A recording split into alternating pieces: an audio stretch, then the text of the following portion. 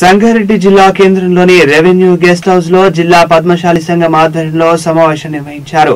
ఈ కార్యక్రమానికి ముఖ్య అతిథిగా మాజీ ఎమ్మెల్సీ ఆర్ సత్యనారాయణ విచ్చేసి పలు అంశాలపై ప్రసంగించారు.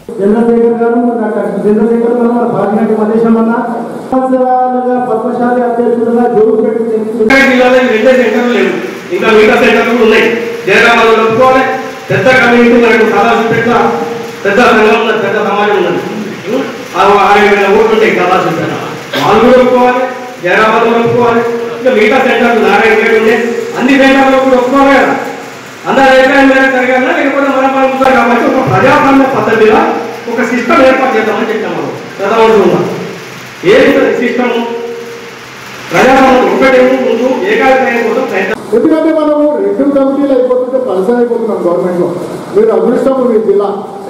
ఎందుకంటే నూట పంతొమ్మిది అసెంబ్లీల నుంచి మీకు ముందుగా అధికార పార్టీలో నుంచి ముందుగా మన సత్యనారాయణ గారిని ఎమ్మెల్సీగా గుర్తించినందుకు మీరు అందరూ కూడా అదృష్టంగా వారికి ధన్యవాదాలు తెలియజేయాల్సిన అవసరం ఉంది కేసీఆర్ గారికి.